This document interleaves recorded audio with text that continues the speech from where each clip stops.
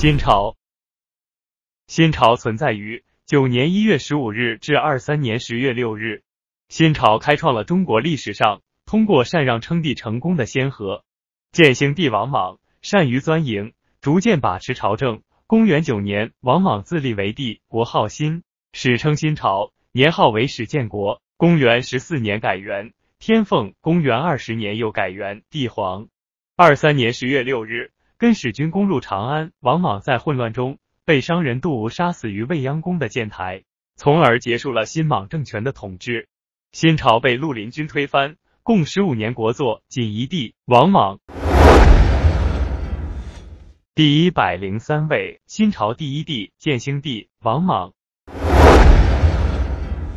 王莽是新显王王曼第二子，在位十五年，终年七十八岁。王莽自幼诵习周礼，迷信古代制度，故复会周礼，改革制度。可惜事与愿违，新政操之过急，以制造社会经济极大混乱。二三年十月六日，跟使军攻入长安，王莽在混乱中。被商人杜吴杀死于未央宫的建台，从而结束了新莽政权的统治。